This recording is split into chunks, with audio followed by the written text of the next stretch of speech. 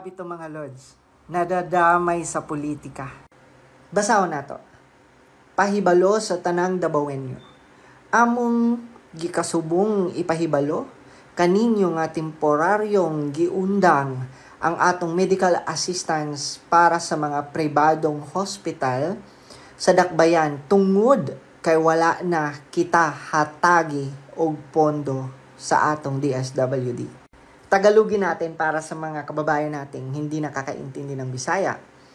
So, nag-announcement ang Davao City na temporary daw nilang stop ang mga medical assistance sa mga pribadong hospital sa Davao City kasi hindi na binibigyan ng pondo ng DSWD.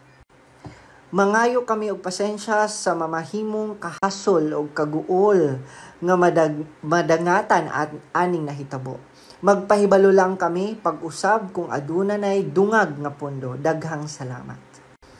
Grabe mga lods, no? Sobrang kawawa. Ang mga kababayan natin, di ba? Dahil lang, yun na, nadadamay dahil sa pamumulitika ng mga pool sa gobyerno. Imagine niyo mga lords, bakit ginigipit ang Davao City? Bakit hindi binibigyan ng sapat na pondo ng DSWD ang Davao City? Na which is may mga programa at mas importanteng proyekto ang ipinapatupad ng Davao City para sa mga kababayan natin and yet hindi nyo bibigyan ng pondo? Nako, di ba? Wag, wag muna tayo sigurong mamulitika ngayon. Tumulong muna tayo sa mga kababayan natin. Grabe talaga mga lords. Bakit? Dahil mga Duterte ang namumuno sa Davao City? Dahil Duterte ang mayor ng Davao City? It's unfair. Di ba? Pag tumulong kayo sa mga kababayan natin, hindi nyo natitignan kung partido nyo ba, kung kasangga nyo ba, or kakampi nyo ba.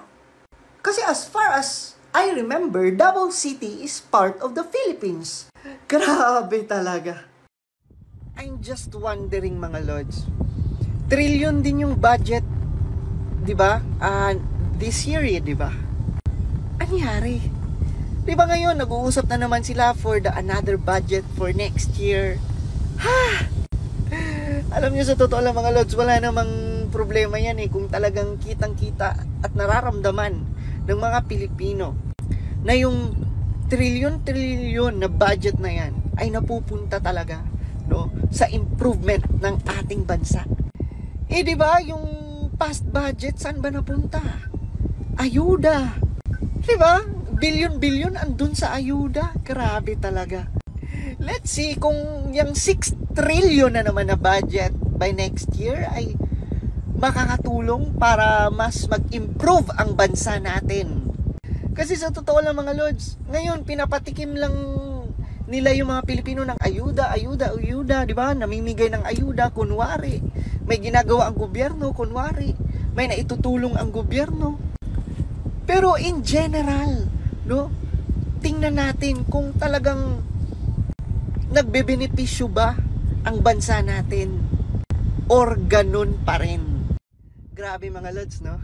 Ngayon lang ako nakakita ng isang gobyerno na grabe ang pa-concert talaga. 'Di ba yung hindi mo na mabilang sa mga daliri yung pa-concert ng gobyerno natin ngayon. Wala namang masama sa pa-concert. 'Di ba? Pero hindi naman 'yan ang dapat na tugon, no, sa mga problema. 'Di ba lalo na sa mga health workers natin. Diba? Kumbaga, napapansin ko right now, mga lords, yung mga primarily issues at problema ng bansa, dinadaan na lang nila sa kasiyahan, di ba? Dinadaan na lang sa pa-concert, kunwari masaya, kunwari okay. Pero at the end, sa totoo lang, ang mas nag-e-enjoy, hindi naman yung mga health workers natin eh. Di ba? Hindi naman yung mga magagawang Pilipino eh. Ang nag-e-enjoy sa mga pa-concert na yan, alam mo sino? Sila, yung mga nakaupo, yung mga malalaking sweldo sa gobyerno, di ba?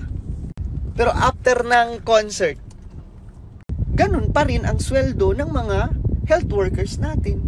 So sa totoo lang, gusto talaga nila ng pa-concert. No? Gusto talaga nila ng concert. Siguro, dinadamay na lang nila ang health workers natin para kunwari, concert for a cause. Pero ang totoo, gusto lang talaga nilang magsaya. Gusto lang talaga nilang magpa-concert-concert. Sus, ginoo ko. Hindi mo talaga alam kung ano talaga ang gusto nilang mangyari. Sabi ni Raul Manuel, pinapatunayan lamang ng resignation ni Sara Duterte na kailanman ay wala siyang pake sa sektor ng edukasyon sa simula pa lang. Kita niyo tong unggoy na to. Ano ba talaga gusto niyo? Nung hindi pa nag-resign si VP Inday Sara, gusto niyong pababain. Ngayon na naman ang nag-resign. Kikwestiyonin nyo na naman bakit nag-resign. Ewan ko talaga sa unggoy na to sa totoo lang. Hindi mo malaman-laman, no? Kung ano ba talaga ang gusto nila? Ano ba talaga ang trip nila? Basahin pa natin. She maneuvered to install herself as head of the department with one of the largest budgetary allocations in the government at ngayon hindi na nakakatulong sa agenda niya ang manatili sa posisyon ay basta-basta niya na lang itong iiwan? Tignan mo, 'di ba? Anong pinagsasabi mo, unggoy? She was never a sincere DepEd secretary since the beginning, and this resignation stunt only proves that. Grabe talaga. Hindi mo talaga maintindihan kung ano talaga ang gusto nila. Dito mo talaga makikita mga lods na kahit anong gawin ni VP Inday Sara, tama man yan. Talagang ang palagi nilang nakikita at palagi nilang pinapahiwatig sa mga tao na mali lahat ng ginagawa ni VP Inday Sara.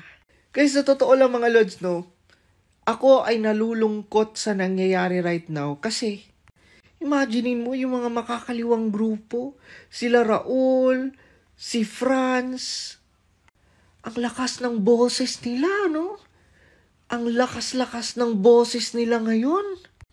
Grabe, ako, ako na lang talaga ang nahihiya. Imaginein mo, 'di ba? Mga makakaliwang grupo pero binibigyan ng plataforma, binibigyan ng boses.